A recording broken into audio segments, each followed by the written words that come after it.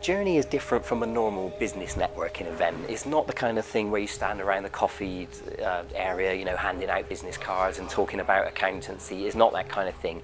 It feels more like an immersive experience. The ambient music, the ambient lighting, um, and it's, it's, a, it's a process that's facilitated by me. I'm going to be giving people instructions at every step. So it's, um, it's not the kind of thing where you're just going to be sitting around, sort of awkwardly playing with your phone, looking for, looking for someone to talk to. It's not like that at all. Um, every step of the process is there's going to be instructions. So um, participants are going to be given tasks and, and, questions to answer at every step of the process.